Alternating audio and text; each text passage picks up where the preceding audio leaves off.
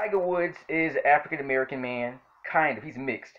I think he's he's half something. He's mixed with something else. You know, he keeps saying he's combination, whatever that means.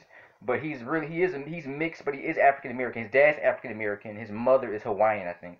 She's mixed with something else, Polynesian, whatever she is. She's you know he's mixed up, but he's but he's still considered a black man because he still looks black. You know, you know, um, he has the curly hair and all that. But he grew up, started playing golf when he was like three, two, one years old, one two years old. He was playing golf. So he's he has spent half his life playing golf. You know, his he has he won tournaments when he was a child, teenager, championships. He lived, he lived a pretty good life.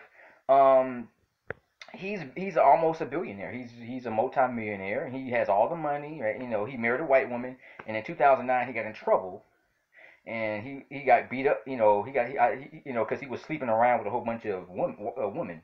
His his wife found out, and she beat him up beat him up with a golf club and stuff like that. And you know, he made he had to make an apology about him having sex. Said, I'm sorry for having sexual relations with all these women.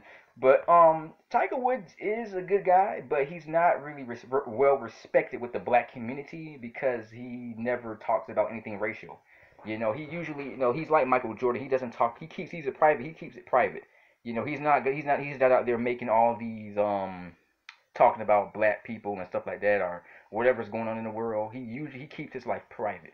You know, he's a black guy. He he learned to keep his mouth shut he has been in trouble. He's been caught. He's been arrested twice, I think, for being drunk, dri- driving around drunk.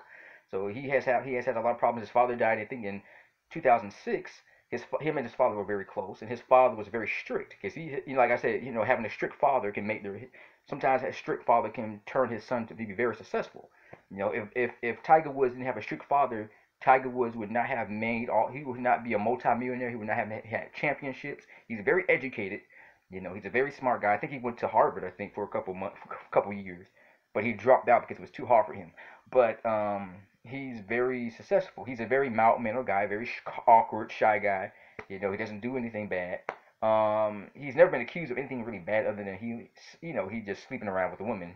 You know, but other than that, I respect Tiger Woods. Um, a lot of black, uh, white people like him, kind of, but black people really don't really like him too much because he doesn't really he's not out there giving chair, you know he doesn't you know he doesn't really do anything to help the black community.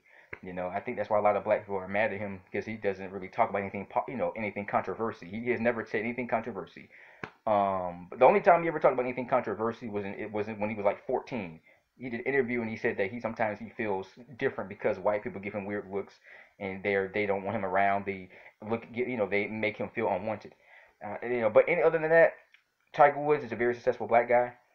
I my my you know he's good. I I watch his um videos on YouTube a lot. And he's a pretty good guy. And Mr. J here, peace.